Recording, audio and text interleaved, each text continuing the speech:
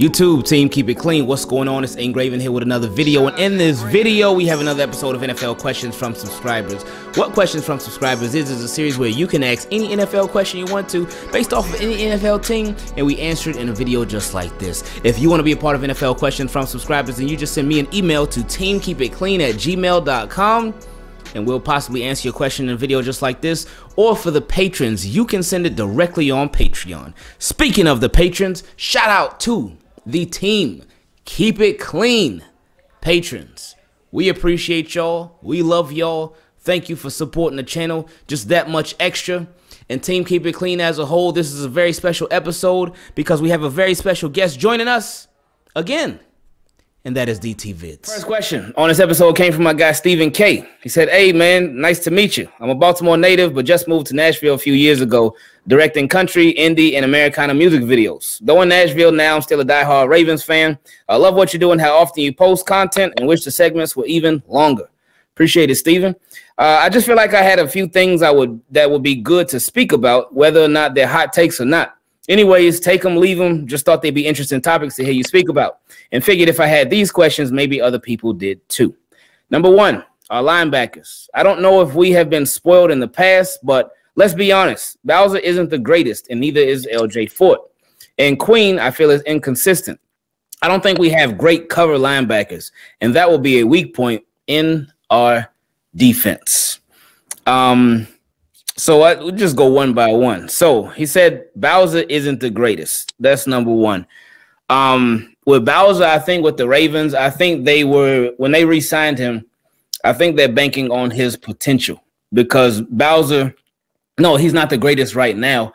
Uh, but he showed flashes here and there, and now he'll have a bigger role. He he showed flashes in a limited role but now he'll have a much bigger role moving forward. Uh, so he can we can really see who Bowser is. And he signed to this deal is like super cheap. I think it's like what is it, 5.5 mil per year, something like that, something crazy low.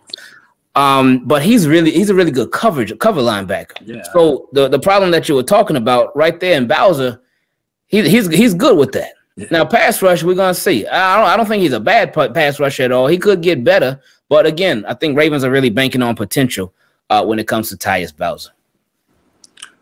Um, uh, uh, yeah, as you said, Tyus Bowser he's a pretty good cover linebacker. I don't, I don't, I don't know. Uh, I guess when he says he's not that great, yeah, he's not that great. He hasn't really had the opportunity to um showcase how great he could be.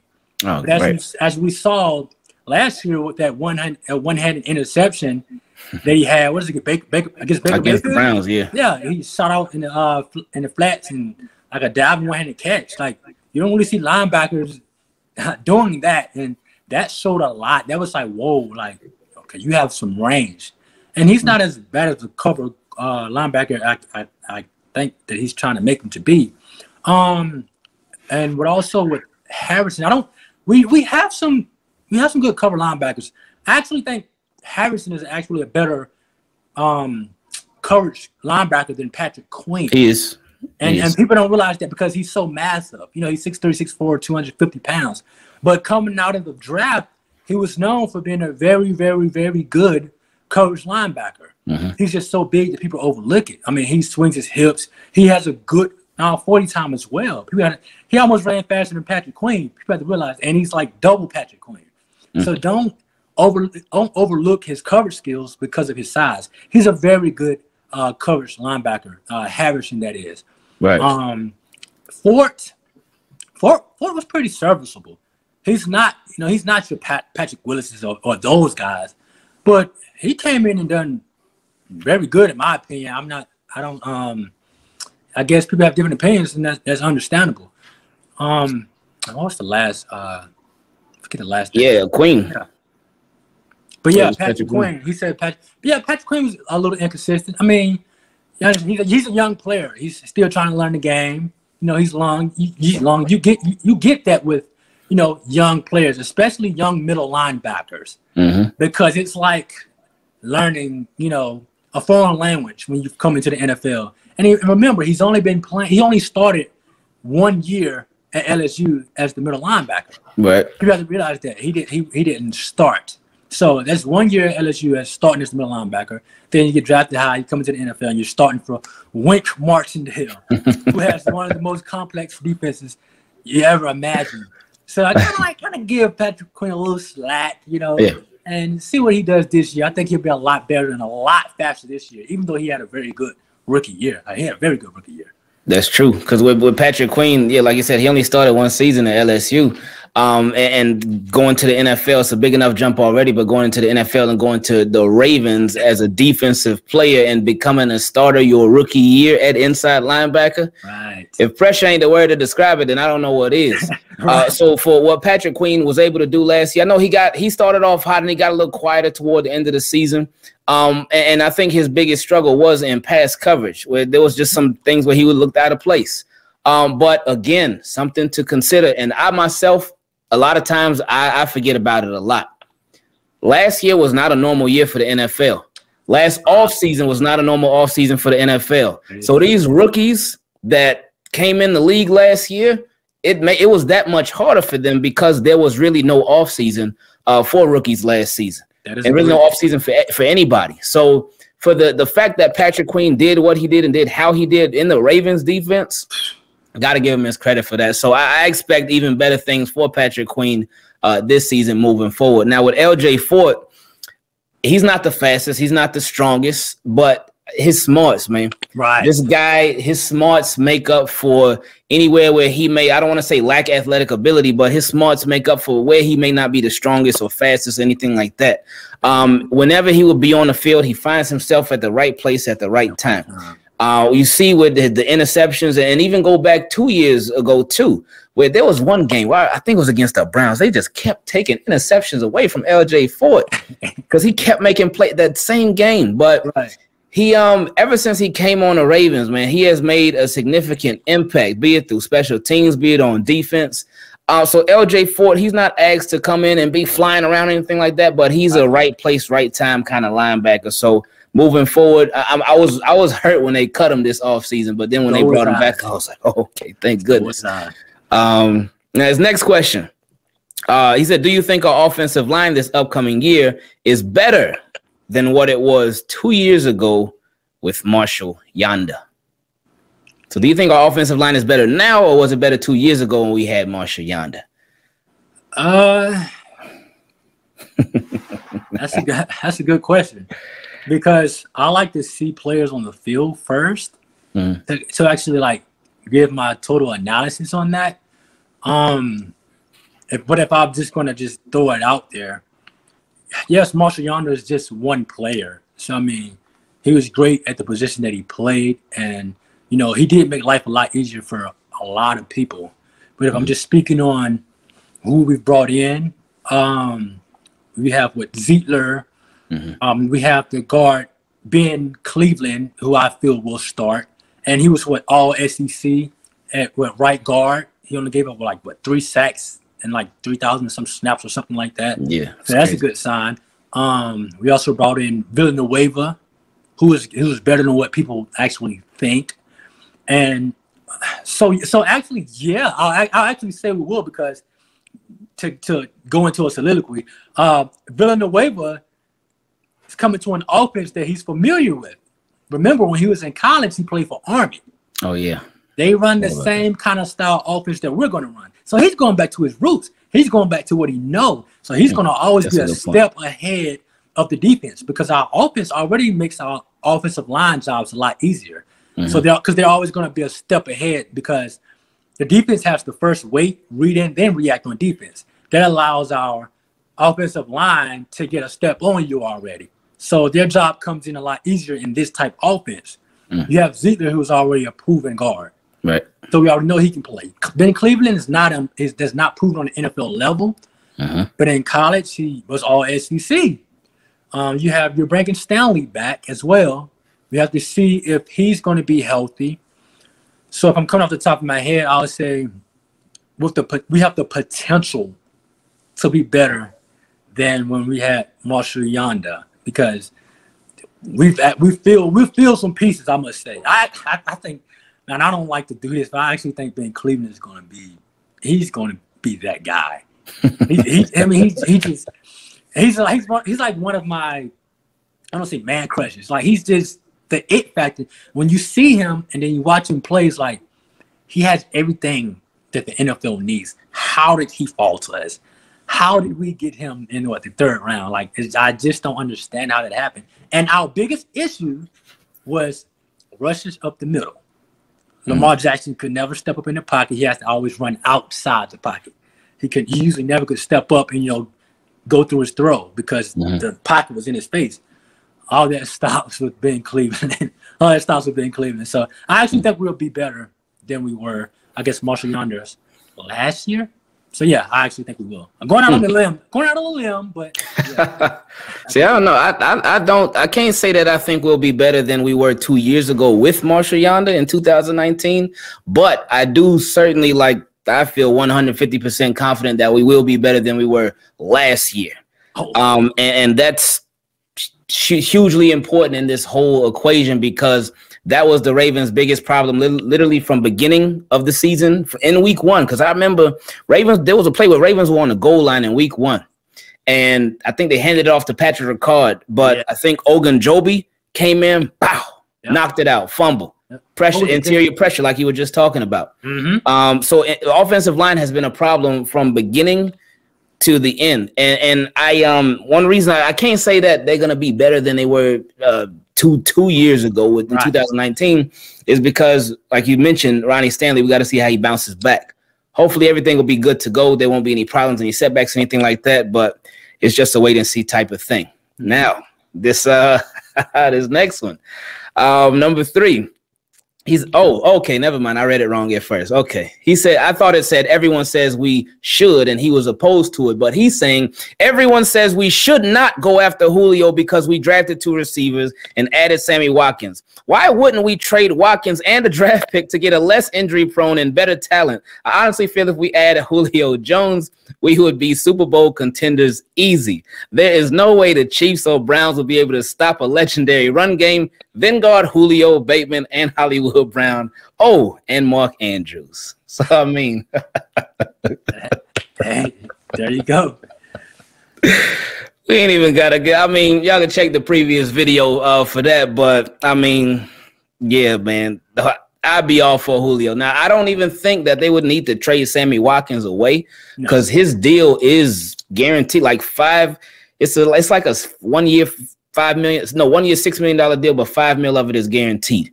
Um, so I don't even think they would trade him away, but yeah, adding Julio, he get a thumbs up from us on that one for sure.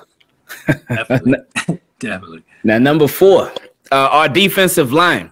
I love a lot of our guys on the defensive line, but they still lack getting to the QB last year. Though we have some studs, is it weird to you that we didn't add new blood, especially on the defensive line, to maybe improve in that area?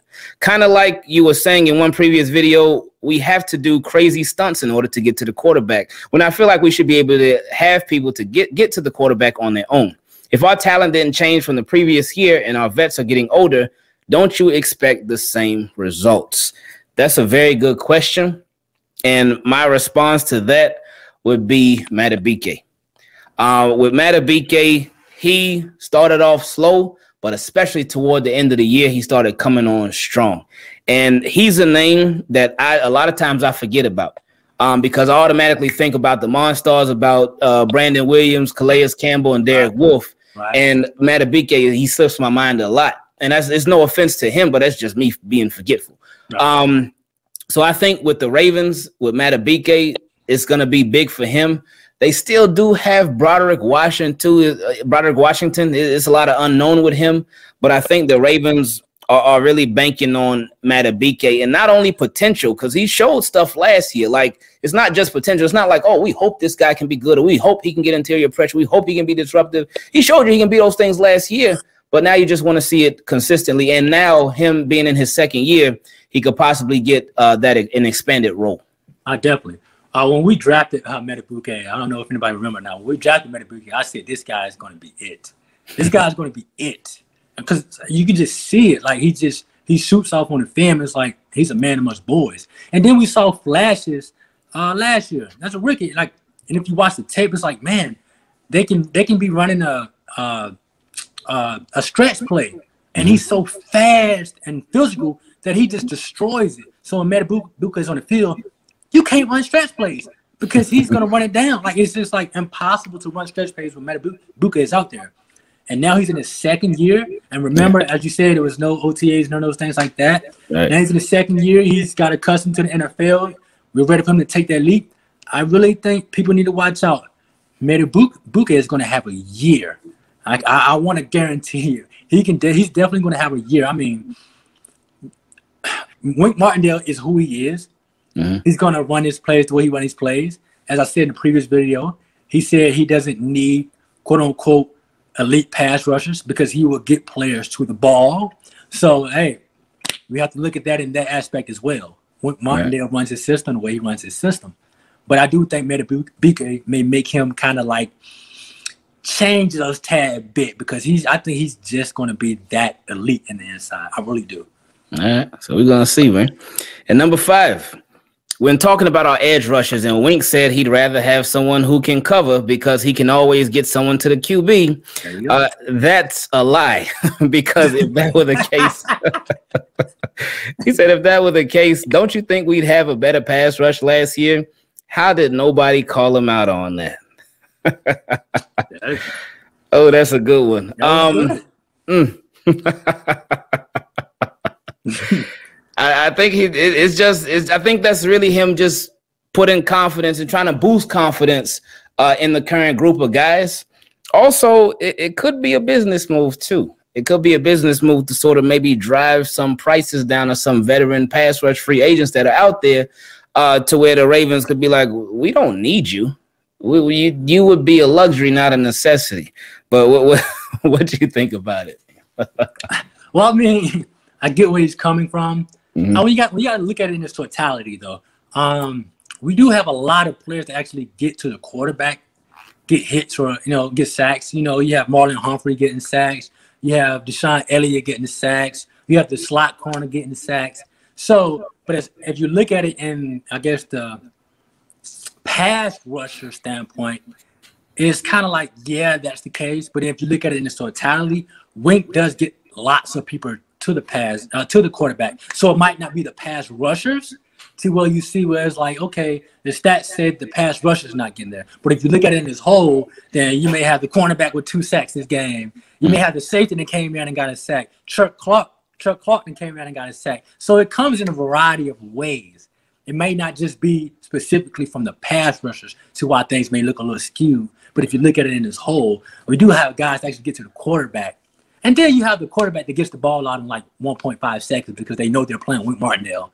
And mm-hmm. they have to get the ball out like that. You have no time to hold the ball. So it's uh you have to look at it from the, the entire thing. You know, yeah. we're the Baltimore Ravens. We speed you up we don't allow you to slow down. So you're not gonna be holding the ball three or four seconds. It's gonna be you got 1.5 seconds because Wink is sending everybody all the time. yeah. All right, ooh, this next one. Mm. He said, do, do you think Lamar wants to win bad enough that he won't break the bank and won't wants to save the salary cap for better talent around him? Now, uh, if you're talking about a, a team friendly deal, I, I, would say no. The the reason being because, and it wouldn't be because he doesn't want to win. Um, but I I do not agree with the fact that I know a lot of people say, oh well, Lamar he should take a pay cut or not a pay cut, but he should take a lower salary or whatnot because he wants to build a team around him. This guy, man, he what he's done for the team, you can't even you can't even put that on uh, on a check. No. Because he not only has got them to a winning franchise again and a competitive franchise again, a playoff franchise again, but he has brought in so much business for the Baltimore Ravens. He's not only uh, a popular face with the Baltimore Ravens, he's one of the most popular faces in the NFL as a right. whole, as a business. Right. This guy is big business, and, and, now he's getting his brand deals. He got the deal with Oakley and whatnot, and he he, uh, he got his clothing line and what. So Lamar, he's also a businessman too. Yeah. And you you can't be like the way I look at it is if if if you work at a job you work at a job and you've been putting all this work into your job and you've been putting extra work in and your company has made so much money not only because of you but you are a very very significant reason why the company has made so much money. And then somebody's like oh you should uh you should take a, a lower pay raise than what you're expected to get so everybody else can get paid too and it's like not that it, you got anything against anybody else, but at the same time, you put in so much work and you've gotten here, especially to what your position is as a quarterback. You know, quarterbacks make money and right. they make the most money.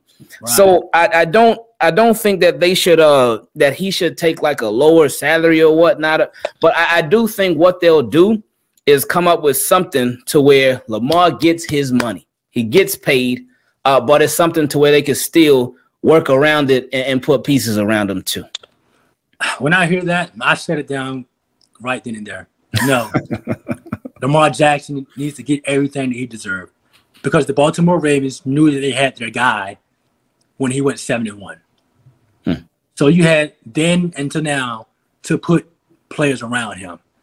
On the offensive side, Baker Mayfield got his players put around here. Him, Josh Allen got his guys put around him.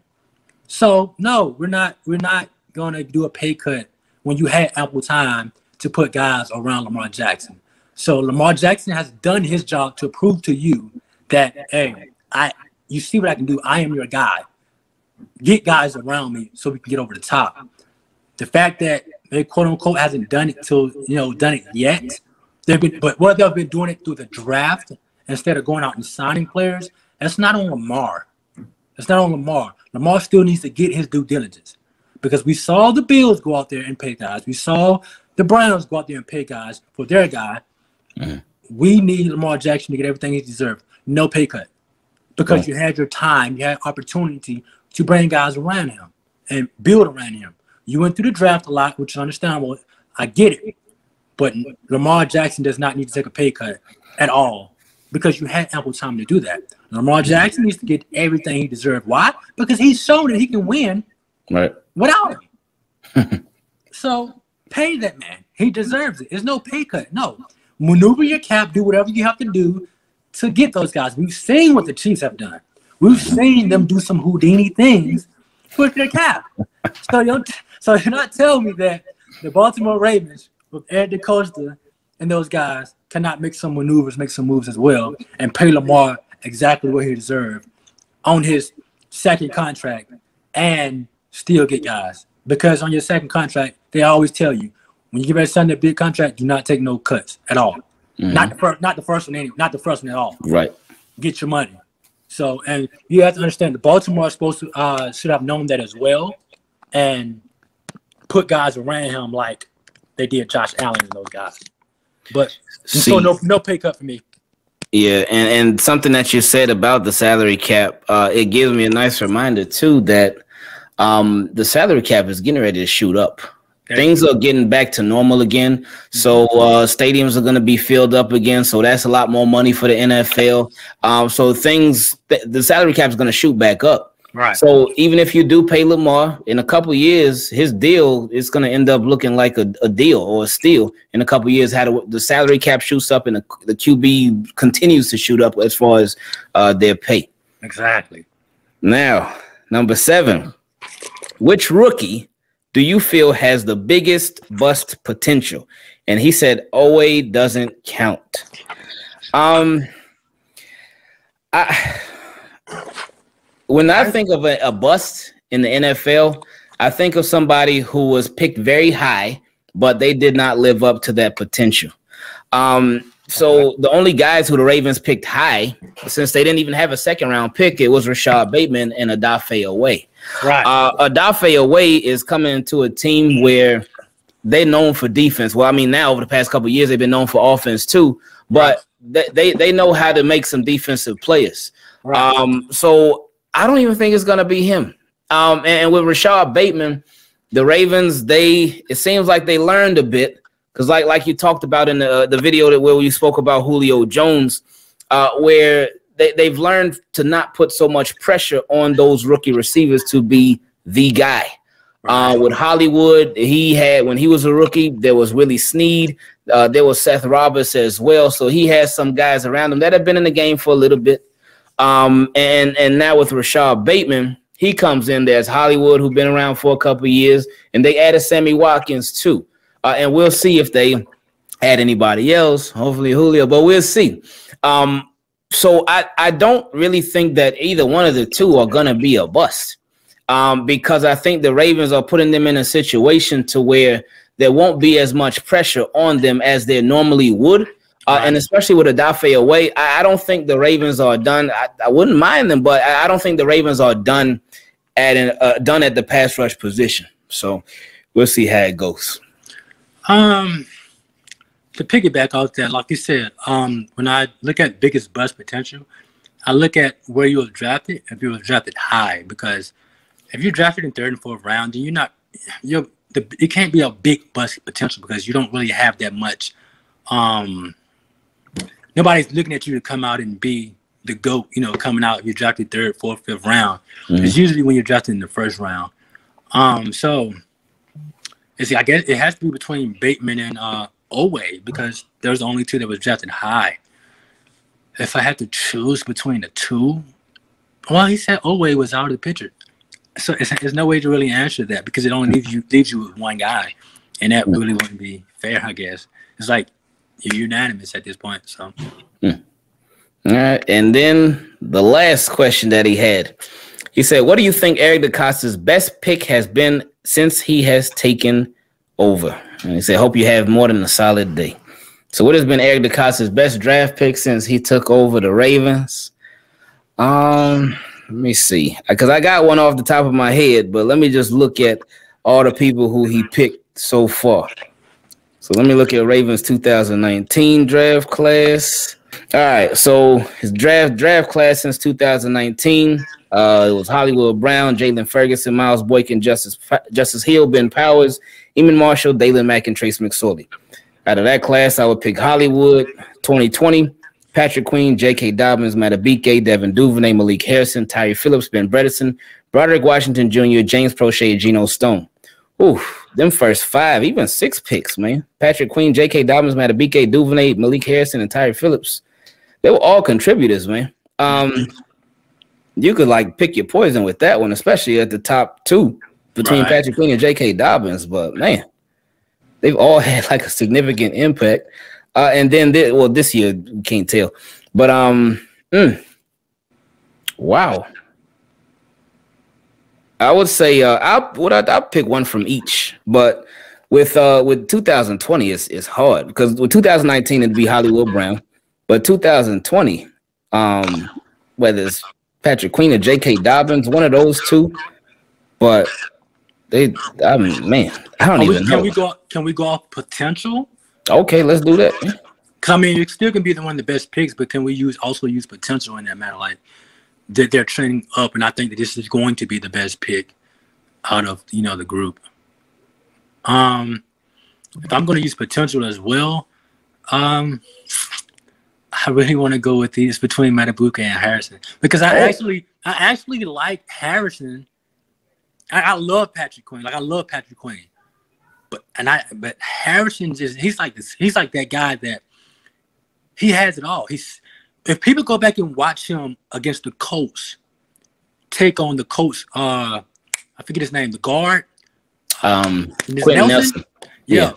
He was throwing Nelson out of the way their entire game, destroying him and hitting the running back and just or just clogging up the clogging up the lane. Like he was that's like that's the best guard in the league. And he was manhandling him. Mm. I think people overlook Malik Harrison because he's 6'5, 250 pounds. But he runs like a running back, and he's a very good cover linebacker. And I think he's going to be the best linebacker this year on our team. So it's between Madubuike and Harrison because I do think Madubuike is going to end up being a very good all around D lineman because he definitely has the goods. But I'm going to go Malik Harrison as the uh, best pick for me. I think that guy's going to be special and it's gonna be this season. I'm DT Vids, you know, like and subscribe to my channel. You know, whenever something drop, I'm gonna drop, and I like to give my thoughts on things that some people may not uh, even notice at the time, but sometimes it comes true, sometimes it don't. But hey, that's me. I appreciate you, man. Thank you, thank you. Have a good. Oh, yeah.